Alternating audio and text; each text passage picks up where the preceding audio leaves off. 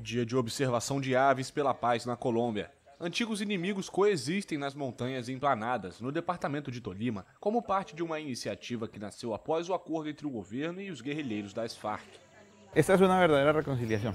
E isso nos ha permitido. Esta é uma verdadeira reconciliação e é isso que os pássaros nos permitiram alcançar. Pessoas e grupos que antes não podiam se reunir, que ainda se olham com tantas diferenças, agora vão se visitar. Alguns vão dormir no território um do outro, confiando um no outro. a dormir al territorio de los otros, eh, ya en confianza.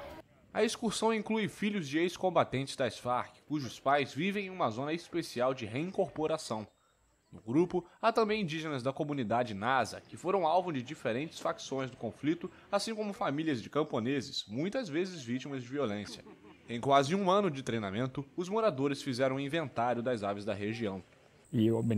Vir aqui para observar pássaros com familiares que assinaram um acordo de paz, com os indígenas que em algum momento fizeram parte do conflito e com a comunidade local, mostra que as aves nos conectam, sem dúvida.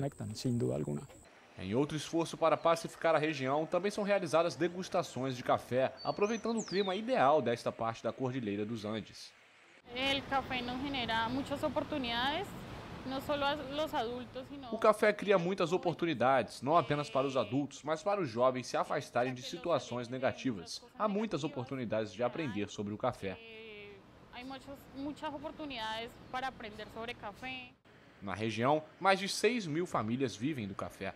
A Associação dos Produtores Orgânicos de Planadas compra o grão de seus 380 associados e revende para clientes nos Estados Unidos, Europa e Ásia.